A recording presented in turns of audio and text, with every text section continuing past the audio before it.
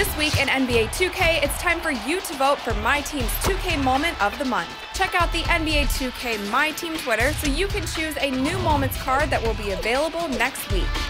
And it's time for a new throwback pack. Check out these historic players from the Cavaliers and Nuggets to help expand your collection. Amethyst, Terrell Brandon, and Spencer Haywood are also available in these packs. So get out there and improve your lineup with these new players.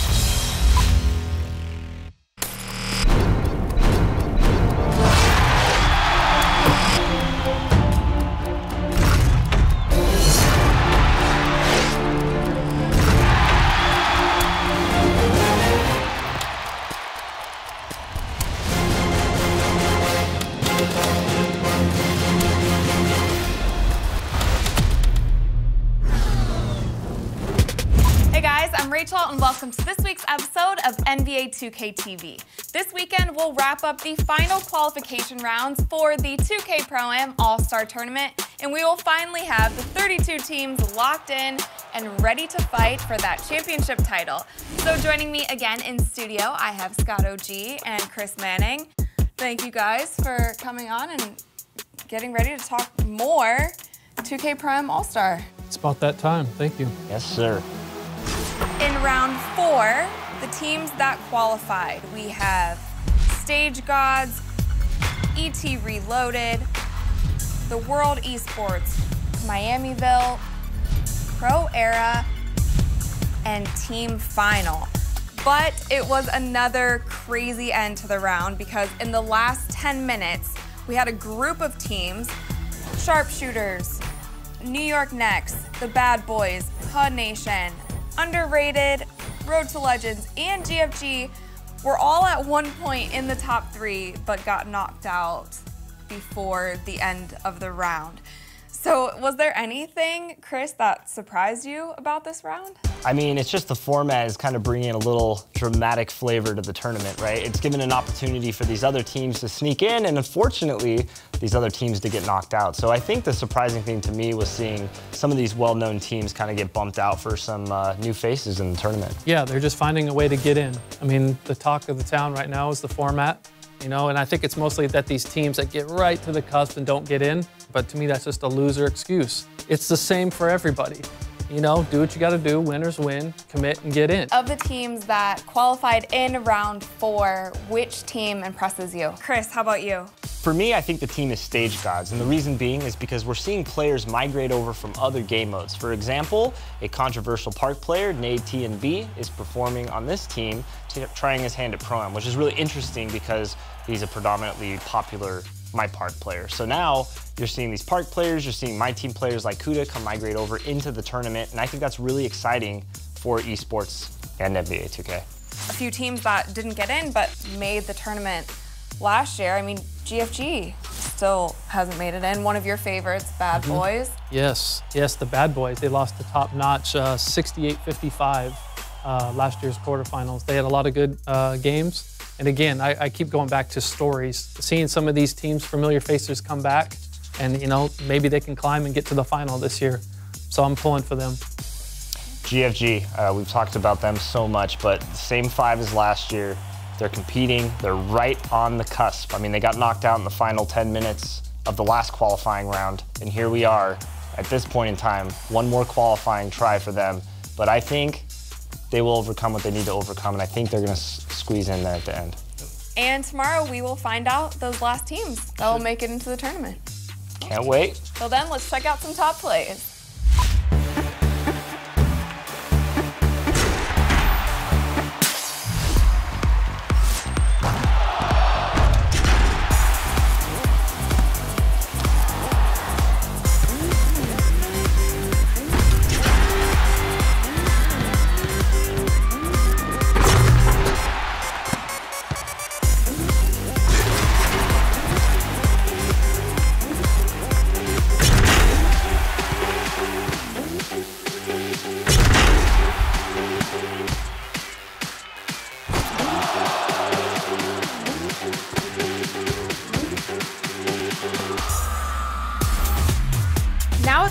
Vote. Here are your four contenders for the top play of the week.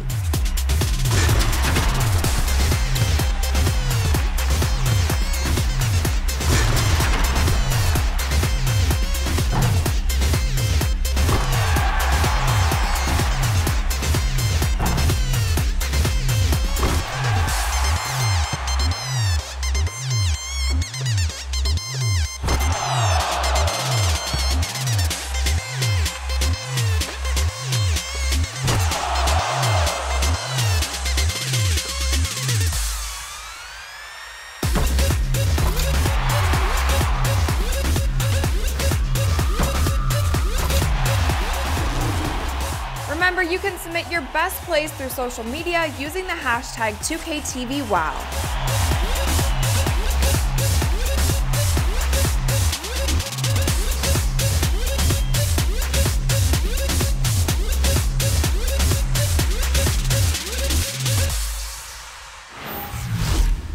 back with Scott OG and Chris Manning to talk more All-Star Tournament.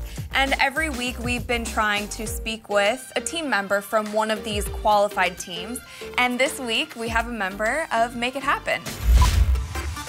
Our team name, Make It Happen, that's what we plan to do. All right, the guys I'm playing with, met them about a month ago.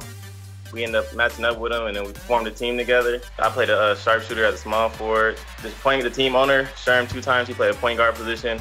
Real Reezy, he's our shooting guard, sharpshooter. We have a, a stretch big, Dave Fry, and our center, Spiff. It really wasn't even that hard to get to get to where we're at now, honestly. Like we all clicked as soon as we got together. Like the chemistry, the IQ was all perfect, and we just went from there. Like it really just all clicked together. It was real easy with these guys. Like, on offense, we take we take it real slow and stuff like that, and try to get the best shot every shot from every possession. But defense, that, that's where we like really excel at. We run a two three a two three defense, but it's kind of like a man defense as well because we don't just stay in our zones like really anybody that comes near us, we trying to like bump them and all that all the time, anytime we can. You're everywhere all the time. I'm definitely the voice. Like I put the whole team together. I call out plays and stuff like that, everything, and they listen. Like that's what makes us like a good team. We all listen to like they tell me things as well. We all just listen to each other and we all just play really well together. It's just it's perfect. To get uh, on a qualifying day to get 10 games in, we started as soon as it started, and we were just like we, we run a fast offense, so we were putting up points in, in a hurry, and the game was just flying by we didn't try to foul a lot and stuff like that. And then next you know, we had got enough time to get one more game in the last couple seconds to pass up a couple teams qualify in the last like 40 seconds, literally. Team that we got our eye on, definitely Juke Buckers HG, because just because they have Styles with his experience and Cole's also on the road to finals on that team, and a couple others, that's like the top team that we're worried about the most, and that we want to keep playing like practice on. We feel like they got a good chance of making it again. So that's definitely the team.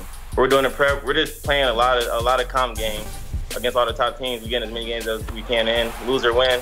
Try to learn what we can from those games. That's what we have been doing. I mean, we took some down and we lost to some, lost to some, but it's, it's been worth it. Hopefully, we can keep it up throughout the tournament as well and win it all.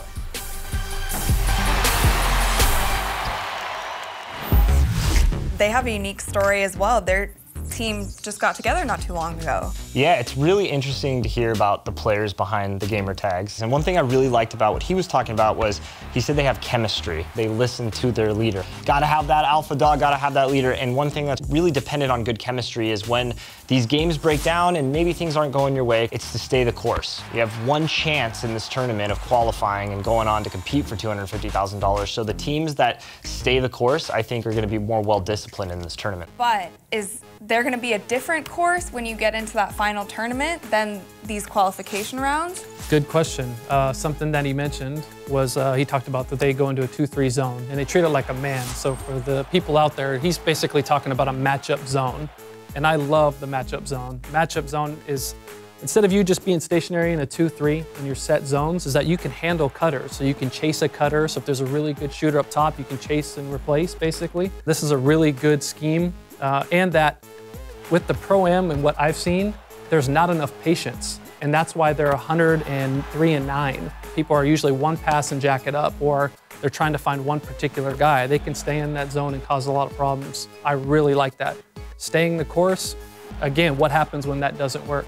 Now you're facing the best in the world that know how to break this or run a lot of ball screens. This is something that they're going to have to be aware of going forward. So we'll see. This isn't the first time that we've heard of a team starting, at least, in a zone defense. Mm -hmm. I feel like this zone is kind of a trend this year. It is, yeah. It's, it's interesting that you say that. And it's a lot of this, it depends on like ego too, right?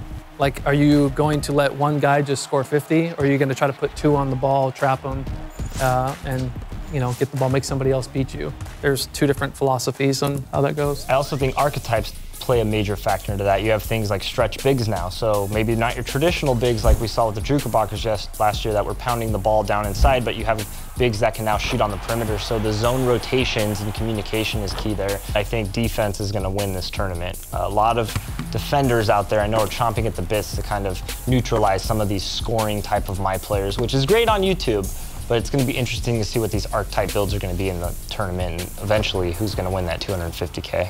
What about the rivalry that was just talked about with the Druckerbockers. The this, is, this is not the same Druckerbockers No, it's not that the we same. saw last year. It is not the same Druckerbockers, but anytime that name is associated with the championship, so they got the bullseye on their back, and uh, people are going to try to take them out. Tomorrow is the last qualification round, so we're not even sure yet if that Druckerbocker team is going to make it into the tournament. But let's talk about the wild card factor. The Druckerbockers have actually held the wild card spot for I think like two or more weeks. It's another piece of the format that I love, and it's another way to get in. This wild card is about a team that stayed the course. This is not just, oh, hey, in week three, they're the wild card. They've been consistent all year right there, and you know, we'll see if they get in. As stressful as it is for those wild card spots, it gives them a chance to compete like any other team who's qualified. Because once you're in, like last year, it was truly a Cinderella story. We talked about it. Like the Druckerbockers, really, in a lot of people's minds, were not going to win this thing. Everybody had GFG winning. GFG had the winning attitude. That would definitely be another interesting story if they came in and went all the way like last year. But we have a lot of storylines coming in this year. Are there any in particular that you're really excited about? top notch talking trash about uh, Deloading Squad. We saw him on the last episode of 2K TV talking about how he's going to remember that in the back of his mind. There's a good chance that those two teams potentially could meet up in this tournament, and I think whenever you have a chip on your shoulder, just like in the NBA, it makes matchups more interesting. And then the other one, uh, Vibrancy Gaming actually is calling out SJ Esports in their arena. But I know if those two teams match up, there's not going to be a lot of love lost there.